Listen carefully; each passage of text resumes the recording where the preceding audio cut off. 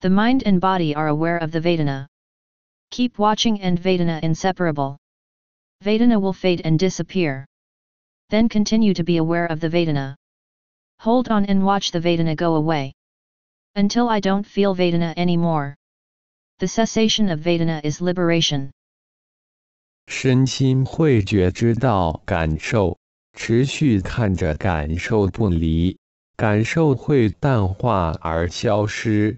接着接着觉知感受，坚持看着感受灭去，直到再也没有感受，感受灭尽就是解脱。